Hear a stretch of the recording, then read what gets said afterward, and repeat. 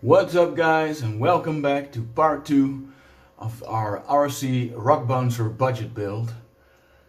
All the parts we ordered last time came in, so that's nice.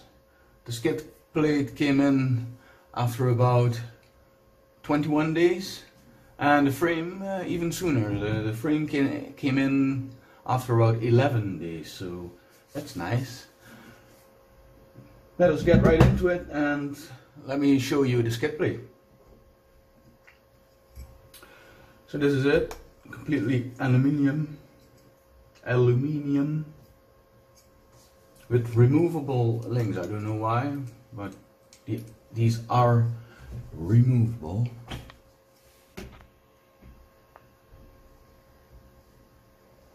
Yeah.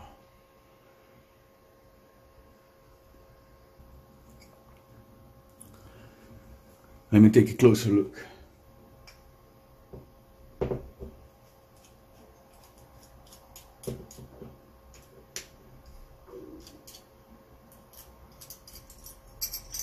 Okay, so this is removable. And there was no Loctite so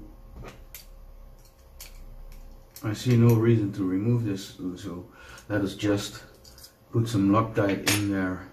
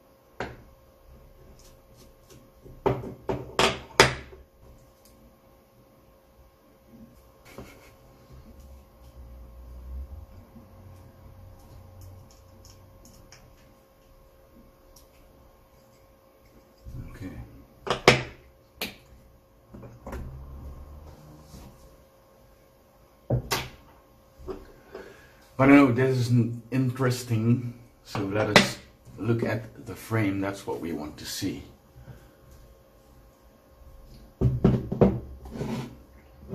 Ta-da!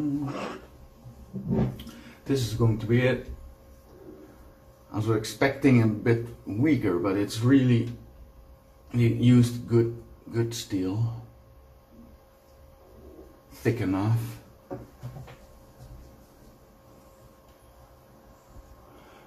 The welds aren't perfect. So it's sometimes a bit hastily done but it was 33 euros. It's a bit dead crooked. I don't know if you can see. Let me uh, this goes a little bit more like so but for the rest, it looks okay, looks decent. I've already tried to fit the skid plate in between.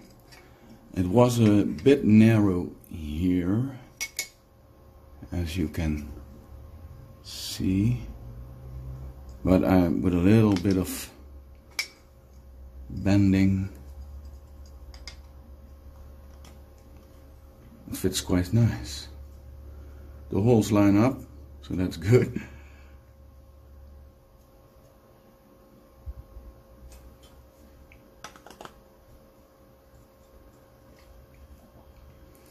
So that's it.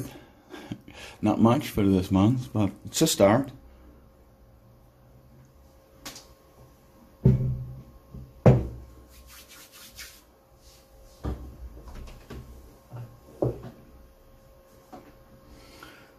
So that's it for this month. That's pretty quick, but we can order the next parts for next month. So let us just do that because I found a few things quite interesting. Let me show you. The last time I showed you this one, but I found a two-speed transmission I want in my chassis because it's going to be a rock racer, rock runner. So two speed should be good for crawling and for racing. It's it's more expensive, yes, of course. Um, so it's only only going to be this one for this month and receiver box. It's cheap. Uh, but I really, really would like this one in, in the bouncer. So we're gonna go for this. It's metal housing, but it has plastic of nylon, I have to say nylon wheels, nylon gears inside with a, I believe Delrin spur gear, 60 tooth. Yes, I believe. But we're gonna go with this one. It's going to be our order for this month. Let's put it in the basket. I want uh, this one. Can I buy it from here? Move to that. Okay. Yeah. This one.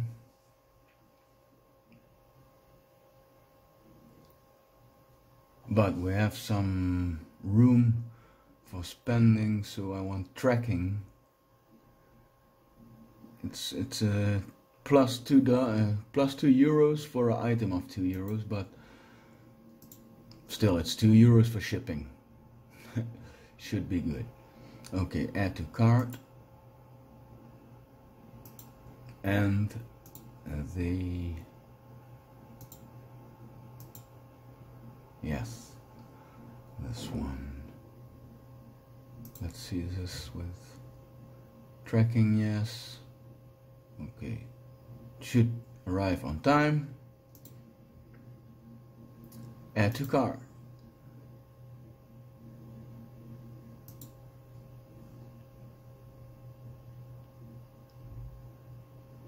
So for this month 45 euros 45 and a half euros. Again within budget. Nice Well, I hope you've enjoyed this video. Let's take one more look at the frame before we leave because it's got a nice background here. um,